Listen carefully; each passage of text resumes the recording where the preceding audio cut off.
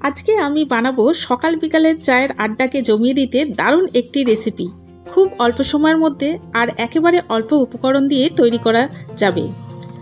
এটা দেখতে যেমন সুন্দর, তেমনি মজার। এটা তৈরি করে বেশ কিছুদিন স্টোর করেও রাখতে পারবেন, বাচ্চাদের টিফিনে দিতে পারবেন, অফিসের টিফিনেও দিতে পারবেন।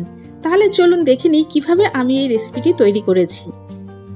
নমস্কার বন্ধুরা, প্রতিদিনের মতো আরও একটি রেসিপি নিয়ে হাজির হয়ে গেছি। আজকে আমি একটি নাস্তার রেসিপি আপনাদের করে দেখাবো। আশা করছি আপনাদের অনেক ভালো লাগবে। পুরো ভিডিওটা প্রথম থেকে শেষ পর্যন্ত দেখার অনুরোধ রইল। তাহলে চলুন দেখে নিই রেসিপিটি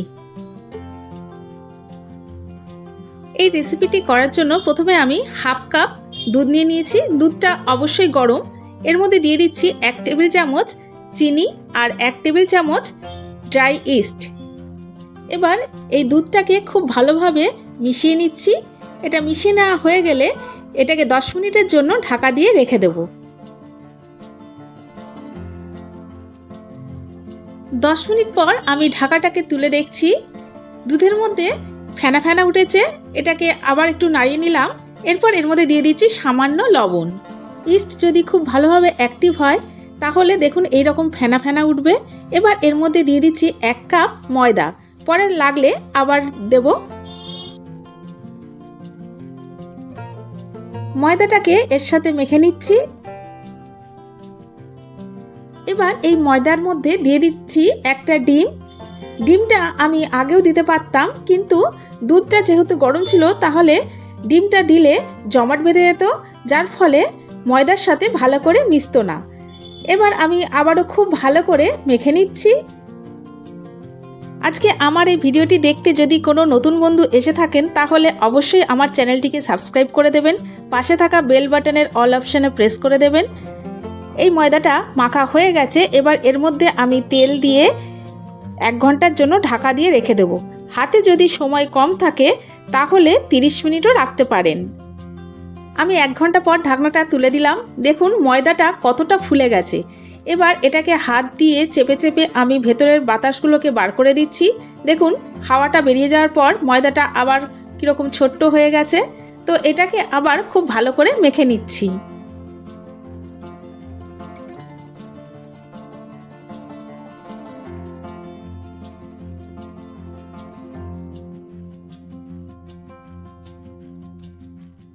এবার আমি একটু ময়দা ছড়িয়ে নিলাম, যাতে ময়দাটা বেলার সময় তলায় লেগে না যায়, এটাকে একটু বড় করে আর গোল করে বেলে নিতে হবে। আমার প্রিয় বন্ধুরা, আমি আপনাদের জানাই আমার বুক ভরা ভালোবাসা, আন্তরিক শুভেচ্ছা, অভিনন্দন ও শ্রদ্ধা। কারণ আপনাদের ভালোবাসা ছাড়া আমি সামনের দিকে এগিয়ে যেতে পারব না। প্লিজ আমাকে সামনের দিকে এগিয়ে যেতে সাহায্য করুন।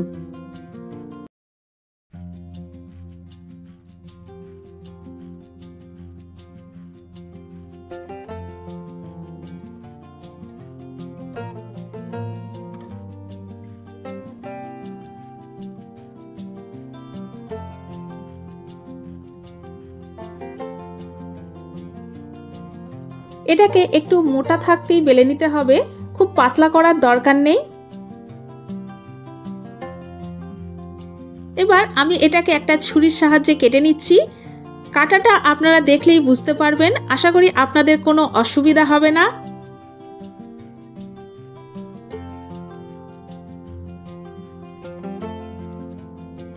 এবার আমি চার ভাগের এক ভাগ নিয়ে নিয়েছি। এবার এর মধ্যে কিছুটা ফুড কালার নিয়ে নিচ্ছি। এখানে আমি অরেঞ্জ ফুড কালার ব্যবহার করেছি, তবে এটি পুরোপুরি অপশনাল আপনাদের ইচ্ছা না করলে নাও দিতে পারেন।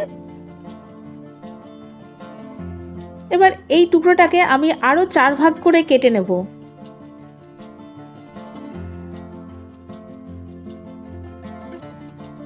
প্রত্যেকটা যেন সমান মাপের হয়।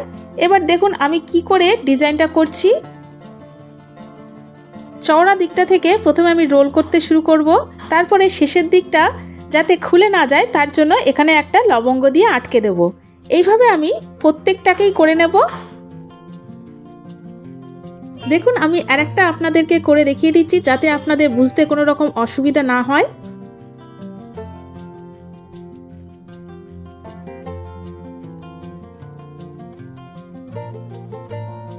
দেখুন, আমি প্রত্যেকটা করে নিয়েছি। কি সুন্দর দেখতে লাগছে কালারফুল এবার এগুলোকে ভেজে নেব। তার জন্য একটা ফ্রাই প্যানে তেল গরম করে নিয়েছি। তেলটা খুব বেশি গরম করবেন না, হালকা গরম করবেন। না হলে ওপরটা পুড়ে যাবে। এবার একে একে করে আমি দিয়ে দিচ্ছি। বন্ধুরা, এই নাস্তার রেসিপিটা কেমন লাগল সেটা কমেন্টস বক্সে কমেন্টস করে অবশ্যই জানাবেন। আর একেবারে বেশি কখনোই দেবেন না, কারণ এগুলো আস্তে আস্তে ফুলে যাবে, যার ফলে এগুলো উল্টাবার জায়গা পাওয়া যাবে না। একটু ফাঁকা ফাঁকা করেই দেবেন।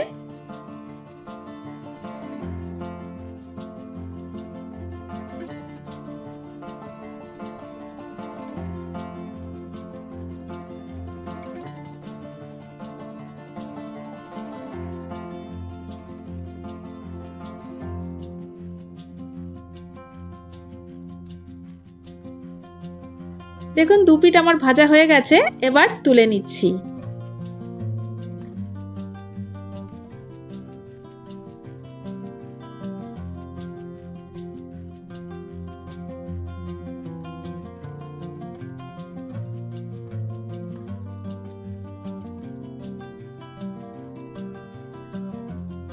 বন্ধুরা, এবার আমি আপনাদেরকে একটা ছিঁড়ে দেখাচ্ছি। কি সুন্দর নরম হয়েছে। আর কত স্পঞ্জি আর জালিদার। আর ভেতরে দেখতেও খুব সুন্দর লাগছে। তাহলে বন্ধুরা, আজ আসি। আবার দেখা হবে নেক্সট এপিসোডে নতুন কোনো রেসিপির সাথে। ততক্ষণ ভালো থাকবেন, সুস্থ থাকবেন।